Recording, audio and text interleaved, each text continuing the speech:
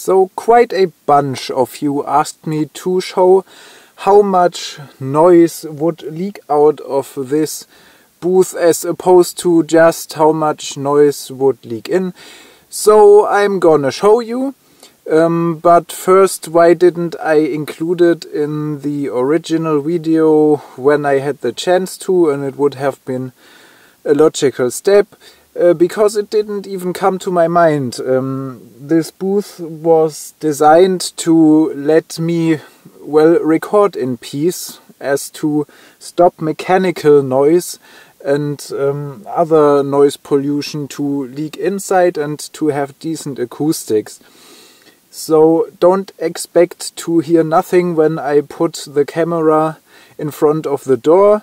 Um, as I said in comments earlier, you can imagine the isolation properties of direct sound similarly to being in a room basically being in the room next door. So before you say, Faustus, your booth is shit. No, it's not. Um, I live directly uh, nearby. Um, I forgot the word. Train tracks. And those things are very loud, and the whole house is shaking when one of those cargo trains goes by, and I have literally nothing of this in here and that was the main purpose. But you'll see when I close the door and the door to my studio, it's quiet enough to, well, not disturb the neighbors, and that's good as well.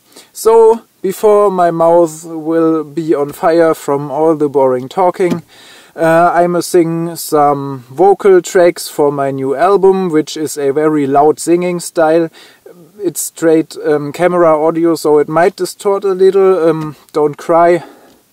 Um, but you'll see um, from a very loud vocal style exactly the um, the capacity of isolation. Blah blah, Faustus, do your thing. Alright, alright, I'm at it, okay? Whiskey on ice without taste! Surf to the south of the weathered life waste.